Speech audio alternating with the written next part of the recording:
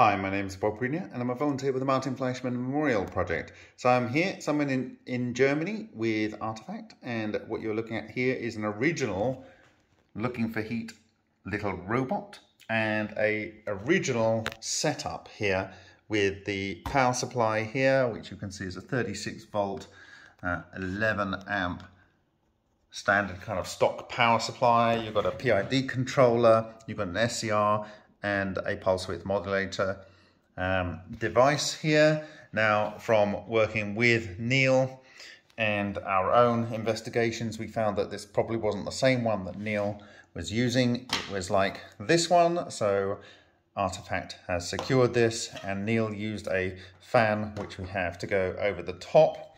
And so the system that we recovered from Neil's lockup was a generation on from this, but it wasn't the one, as we understand it, according to Alan Smith of Looking for Heat, formerly of Looking for Heat, that actually did the Lion 12345. This is the kind of system with this modification. And in this instance, the SCR switches this power supply on and off, and then you've got the PID controller that gets in there and is targeting target temperatures, and then this one, that it adds a little bit of uh, pulse width modulation on the system. But again, we are going to replace it with this, which is like the one that Lion used. Now, in terms of materials, uh, we have the original looking for heat tubes, and these are uh, magnetic uh, soft iron, or rather they're soft iron uh, bolts here, and you can see they are magnetic. There we go and that is the sort of thing that will go into the tubes. We need to get ones of slightly different diameter.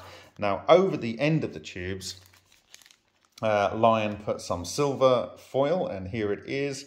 This is silver foil you can see from India. We tested this type of foil that Lion used on uh, Alan Goldwater's uh, SEM and it was 100% silver. And around the outside of the tube he also had some uh, enameled copper wire and this is sort of equivalent that was used by Lion.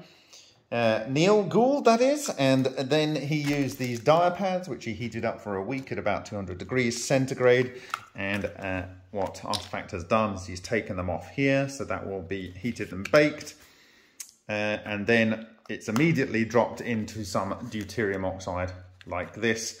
Now we are going to get some from the UK that is stored with the person that's looking after uh, Lion's effects, Neil's effects, and uh, we will actually use the ones prepared by Neil.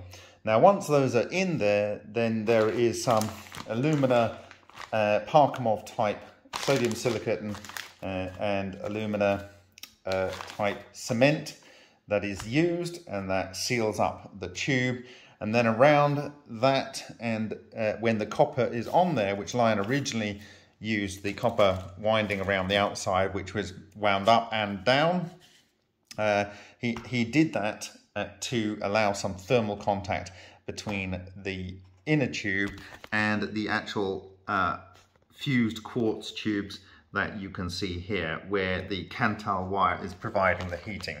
Now in the back uh, you can see there are some thermocouples here and at the moment uh, Artefact has this device, this digital, digital thermometer, but we are going to instrument it actually with the LabJack T7 Pro, and this was the one that was used for testing the claims of Me 356 back in 2017 and put together by our uh, director, Ryan Hunt of Hunt Utilities. And into that, we will also be putting the MFM PC 830 uh, power and um, phase uh, analysis device and that will be connected into the input power to the looking for heat little robot setup. And then we will also have our Logitech uh, 920 here uh, uh, either looking at the device or potentially later looking for radiation but that will be able to be monitoring it. And we are configuring a computer here that will be doing the uh, monitoring of the whole experiment. Now um, we're just doing some preliminary work, and as part of that, I have brought various pieces of analysis equipment. Uh, we are going to be looking at frequencies that may be in the system uh, by sound and by uh, this electrosmog which can uh, see um, magnetic fields and so forth. And then when we do the actual run, we'll have this eight, uh, alpha, beta, gamma detector and the uh, radio scan and radio code here um, for looking at any gamma emissions that might be there. I suspect, and I've not, I've only mentioned this in passing, but I suspect that the solenoid around here, combined with the observed 22 kilohertz ripple and the um, uh, pulse width modulation on here and the switching on of the um, SCR will lead to what's called a magnetostriction effect. And what that is, is if you have a solenoid around a piece of magnetic material, like nickel, as is in the diapads here, there is, that is a magnetic material, ferromagnetic material, or the iron, soft iron rod, and the solenoid is round there, that causes a distortion in the metal. And this is called magnetostriction. And there's an equivalent uh, with dielectric materials, possibly with diamond in electric fields, okay, which may also be going on. And what this will do is as you've got these 22 kilohertz vibrations, which was what uh, we actually excluded when we did the rep uh, replication attempt uh, originally in California with Alan Goldwater, was um, uh, by putting a stainless steel uh, core into the center of the reactor, like this, into the center of the solenoid, we lost the ability to have this magnetostriction effect, which I wasn't really thinking about at the time, but it, I, since we have done the ultra experiments, it's become very clear to me the importance of sound. So when that is in the reactor, okay, and we probably have a shorter bolt, so it comes to somewhere about here, it is going to be producing high frequency sound. And if you know, you might have heard of mains hum on a transformer. And this is where the coil that's going on the soft iron that forms the magnetic loop in the transformer, that is doing this magnetostriction and it produces that main, that hum from your transformer.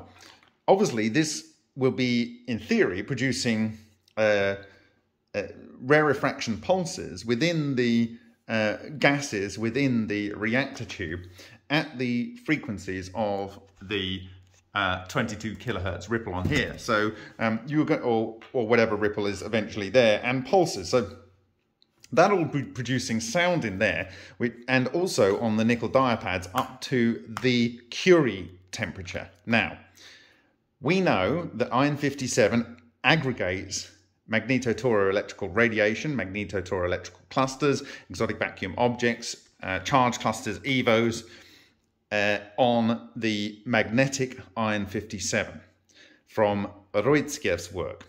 We know that the material uh, in the magnets of Bogdanovich's work on the actual magnetic surfaces, according to them, when the gamma ray comes in, uh, they are claiming in Urutskoev, in um, Bogdanovich's work that is knocking the birdies off from the magnet. So we know it's collecting on magnets and we know it's collecting on the iron.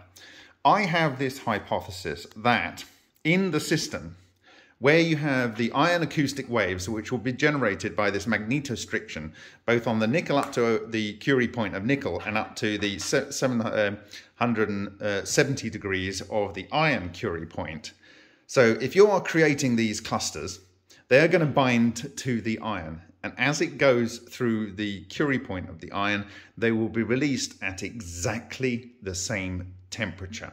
So you have clusters which potentially are quantized, and the quantization of those clusters will be released at exactly the 770 degrees centigrade. If the metal falls below 770 degrees centigrade, or the nickel falls below the Curie point nickel at 163 or whatever it is degrees centigrade, then any clusters that are there will reattach to the iron because it then becomes ferromagnetic again. If it goes above, it will release them. So all of the released ones will be uh, at exactly the same temperature or thereabouts. And as we know, when we're trying to create coherent matter using, say, cesium-133 or um, the uh, uh, sodium 23 atoms in Bose-Einstein condensates, you're cooling that down to about absolute zero, let's say three or four degrees Kelvin. But it's actually either side of that. So you've got an averaging. So if you've got these clusters within a few degrees of each other, they're practically in a situation of being able to cohere in the same kind of level of uh, temperature variation that you might get in a normal coherent matter Bose-Einstein condensate environment. And as we know from the Lockheed Martin patent, you can cohere matter of the same type at uh, the same kinetic energy, i.e. thermal energy, and therefore I believe that that leads to the large clusters that lead to the coherent matter structures and vortices and stuff that we actually see interacting in the LION reactor materials.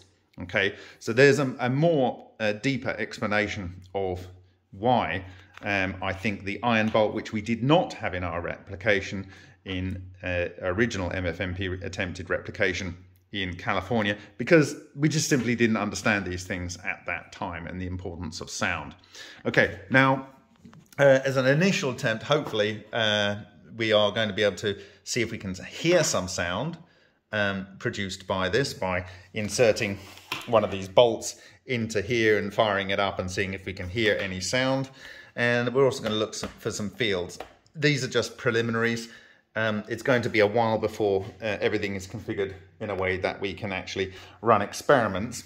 Um, but essentially, with what LION has left us, uh, thank you to Neil Gould for doing that, and the equipment that has been brought together by Artefact here, and the modifications to correct for the things that actually Neil Gould used, a LION, and the equipment we already have, we potentially have the ability to do an extremely good replication of his work.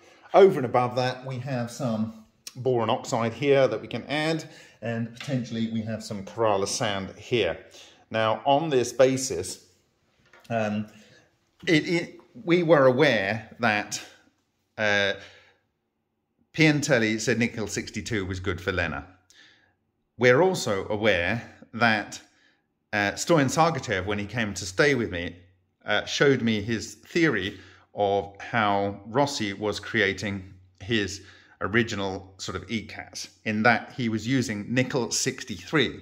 Now, nickel 63 is produced by irradiating with neutrons uh, in typically in an RBMK Russian reactor, enriched nickel 62, and it produces a pure beta emitter of 100.1 year half-life of nickel 63. And he said that this would be enough, the energy of those beta particles would be enough to initiate the formation of the right kind of clusters of matter that would allow for the production of the LENR effect.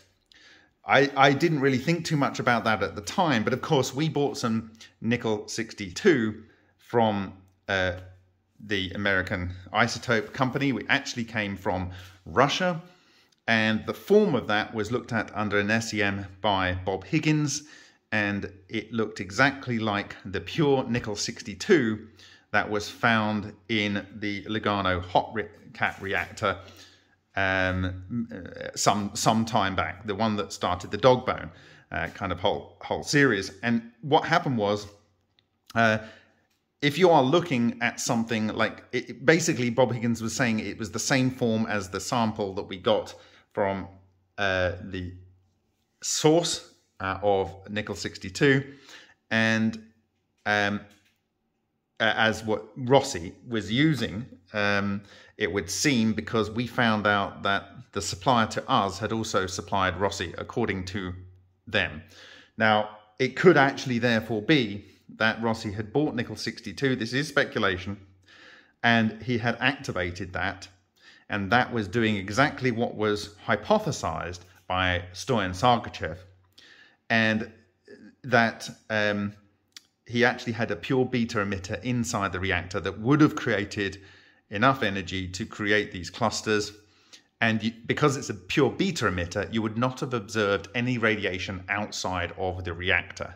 Now, we don't necessarily need to do that because we're not trying to um, pretend that we're not seeing any radiation outside the reactor. We could use potentially Kerala sand to enhance this process. But first off is can we replicate what Lion did? And I think with a better uh, understanding over the last few years and the equipment that we have here and with Lion prepared dia pads like these, uh, treated in his way with potentially whatever is in those white powders, uh, vials, we have a very, very good shot of replicating it.